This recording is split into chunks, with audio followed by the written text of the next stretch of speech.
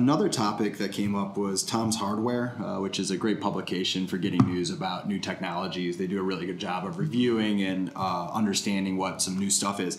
They came around with this interesting headline uh, that says Lenovo's Go wireless charging kit is like Qi for your laptop. But at the same time, it has two pogo pins on it. So, I, can you help me understand why this is like Qi for your laptop, or was this just kind of a misreported or mismarketed piece of information? Well, I don't think it's true wireless, but it, it is sort of an interesting concept. Okay. Uh, and I believe what Lenovo has done is picked up on a technology developed uh, by a company called Energy Square. Mm, right. um, they're a, uh, a Paris based startup, a couple of uh, young engineers a few years ago, uh, coming up with an idea of solving kind of the spatial distance that uh, you know wireless charging is striving for but instead of doing it using inductive charging or capacitive charging they actually allow for a dc connection so sure. if you think of a, uh, a, a, a checkerboard of metal squares that are all isolated each one of those could be the plus and a minus of a of a battery charger. Sure. And so now, if you have a receiving device, a, a, a device you want to charge that has two pogo pins spaced sufficiently apart that have the pins sticking out, you place it on there, and because of this checkerboard, chances are each one of those those uh, charging pogo pins are going to be sufficiently at a distance where they're going to be on different ones those then become the plus minus charging ports and it'll start charging. And because of that, because those charging ports can vary, you can move it around. Yeah. And so you essentially got a similar experience to what you would see with with wireless charging from uh, sort of a company like Aira today that, that that does more of a freedom of placement charging yep. pad. Yep. Yeah. So uh, there's a few positives in this, uh, and then a few negatives as well. So I, the the obvious positive to me is the freedom of placement eh, with a large device uh, is a challenge. It's hard to take a large device like a laptop and be able to place it freely in an area uh, using inductive or capacitive technology. So, using this conductive technology um, seems like they've uh, really provided an option to do that. At the same time, I'm also trying to think about the real challenge that they must have about putting pogo pins on the bottom of a laptop which is going to be coming in contact with all sorts of surfaces. Um, it's going to be collecting all sorts of dust and debris. It's going to be consistently being compressed, and so you're using a lot of cycles on those pogo pins.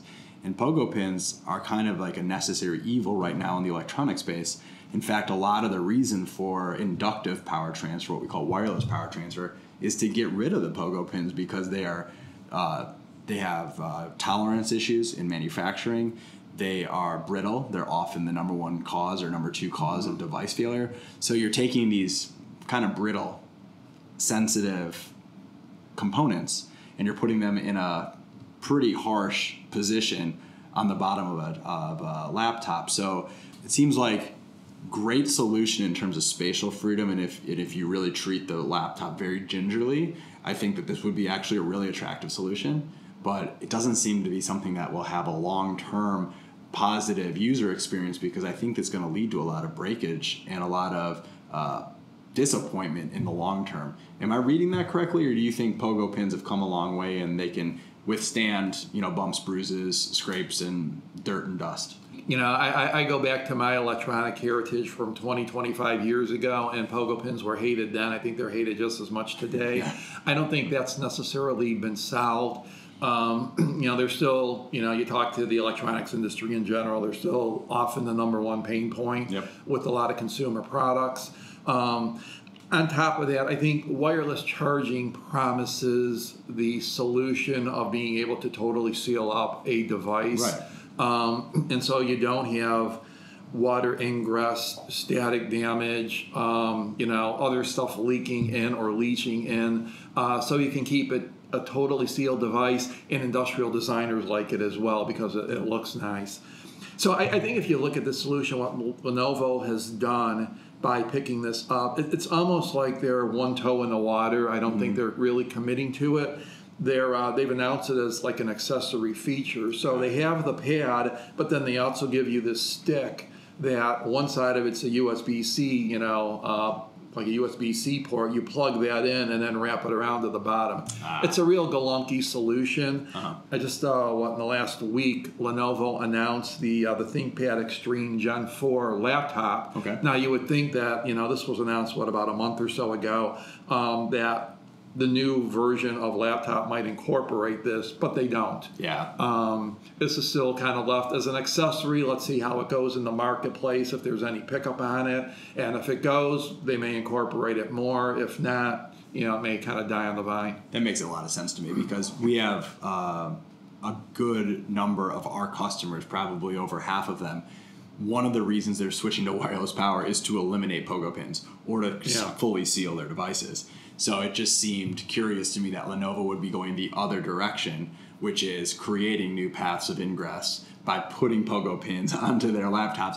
Makes sense that it's more of a dongle solution right now. They're trying to just see if there's interest here. But again, overall, I, I do think it's interesting that the, this really introduces spatial freedom. So I always like progress doesn't all come at once. You know, you have to take steps and get there. And um, I think that what Lenovo's doing is interesting and could provide a nice user experience if they can figure out the durability and robustness issues with pogo pins.